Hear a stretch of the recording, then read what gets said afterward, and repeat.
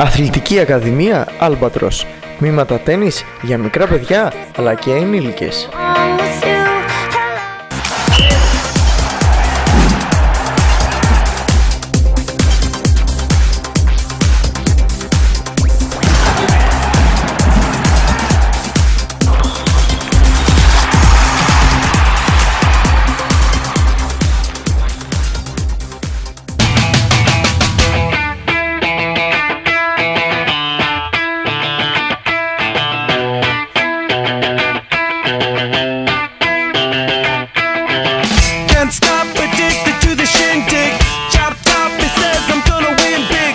Big. Το τένις γίνεται όλο και δημοφιλέστερο στα μικρά παιδιά εδώ στη Θεσσαλονίκη.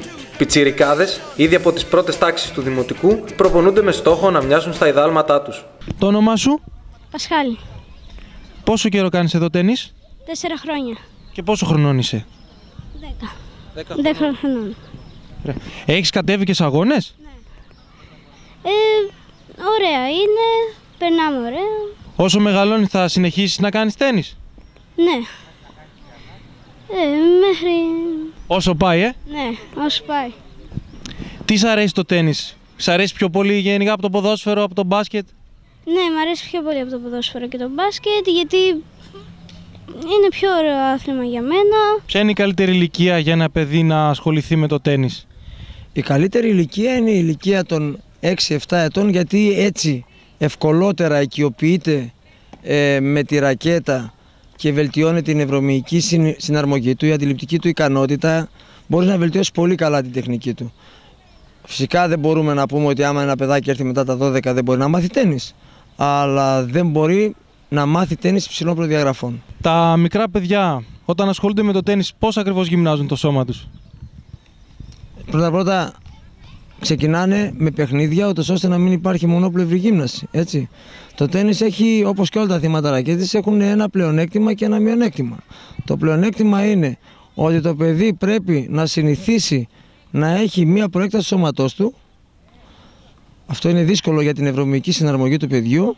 Από την άλλη, μέσα σε ένα χτύπημά του έχουμε άμυνα, στρατηγική και επίθεση.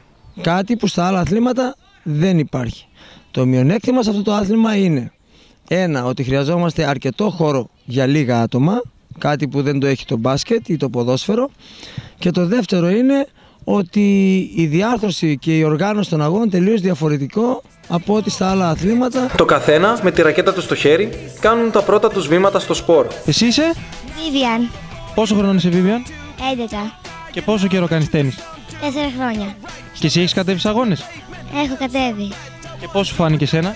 Ε, είναι ωραία εμπειρία, παίζω με πολλά παιδιά. Ε, κάποιες φορές είναι καλύτερη από μένα. Είναι κάποιες φορές δύσκολο. Είναι ωραία. Και εσύ θα το συνεχίσεις το τένις όσο μεγαλώνεις; Ναι, θέλω να το συνεχίσω γιατί μου αρέσει πολύ και είναι ωραίο. Έχεις κάποιον έτσι που να θαυμάζεις ένα, μια ταινίστρια; Ε, πολλές ε, ταινίσεις θαυμάζω. Μ' αρέσουν αρκετές. Βλέπω τέννις γενικά. Ε, μ' αρέσει να το βλέπω αλλά και να το παίζω. Πασχάλη, έχεις κάποιον που να θαυμάζεις; Πολλούς. Για πες κάποιο όνομα.